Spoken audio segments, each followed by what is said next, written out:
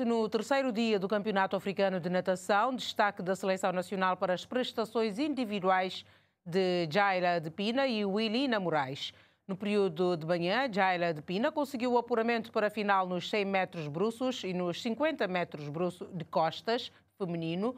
Willina Moraes selou a passagem para a final. No Rito 1, Elina ficou em terceiro e qualificou-se para a final. As finais aconteceram no período da tarde. Jaila de Pina ficou no oitavo lugar, enquanto Willina, atleta que chega da França, falhou o pódio por segundos.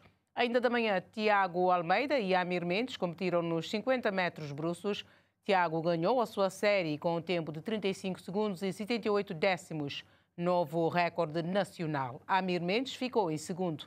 Jaila de Pina voltou a competir e conseguiu apurar para a final entre os três melhores tempos nos 50 metros bruços, tendo ficado em quarto lugar. Willina Moraes apurou-se para os 100 metros costas, com o quinto melhor tempo e acabou ficando em quinto lugar na final individual. Na final de estafetas 4 por 100 metros livres, a seleção cabo-verdiana ficou em décimo lugar.